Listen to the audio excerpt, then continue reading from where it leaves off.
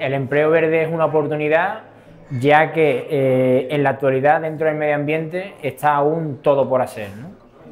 Hay una cantidad de problemas ambientales que en la realidad ya son palpables y que el empleo verde tiene que venir a solucionar. Actualmente creo que el más relevante eh, puede estar vinculado a la consultoría y al cambio climático.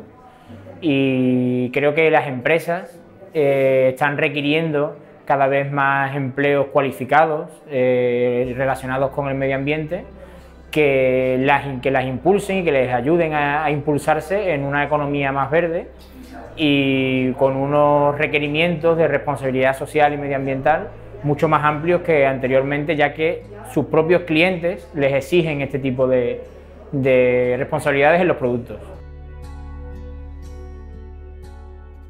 No vale quedarse en casa.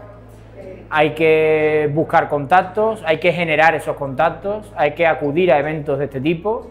En, eventos de este tipo y en eventos de networking es donde se generan esos contactos y actualmente está más que demostrado que conseguir esos contactos, eh, generar eh, oportunidades eh, conociendo a otras personas es el principal medio para que tengas éxito en la búsqueda de empleo.